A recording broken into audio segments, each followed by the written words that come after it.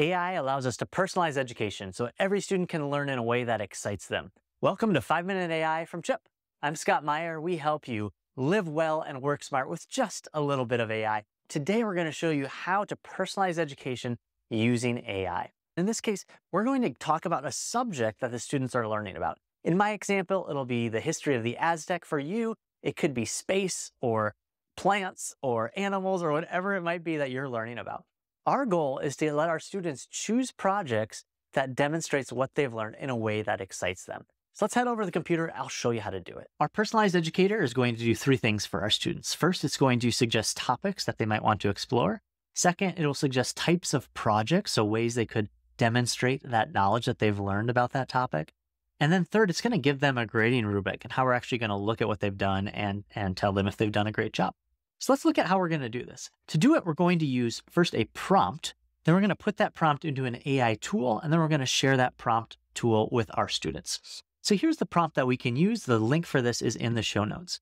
We're going to walk them through step by step. We're going to tell the AI how to walk the students through step by step what they're going to do. In my example, we're going to talk about the history of the Aztec, but anything in bold you could just change for your project. So you can see here, we start with the role. You are a fun, energetic history teacher. You could change that to whatever you are. Creating projects about, insert your topic, the history of the Aztec for sixth graders. So put the level, right? Based on their interest. I said sprinkling emojis for fun. Then we give the inquiry, right? Suggest potential aspects of Aztec history and ask them what interests them most. Then suggest three potential projects that they could do and give them a chance to add their own ideas. Wait for them to choose. Then, when they choose, provide an outline of how to complete it and how it'll be graded. Make the project roughly 60 minutes. So you can see this is essentially telling the AI what it's going to do for our students. So you can just go ahead and copy that or create something similar on your own. And then let's move it into our AI tool. So for this video, we're going to use chipp.ai. You can go to chipp.ai. Then you can click on get started to create your free account. The reason we're going to use Chipp as opposed to ChatGPT or others is because once we build it within Google Classroom or LMS, we can also link to it and allow as many students as possible to use GPT-4 instead of older versions.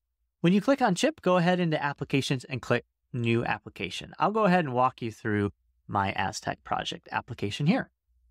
So we copied that prompt and we're going to go ahead and put it in. First, you can design what you want your AI tool to look like, your color.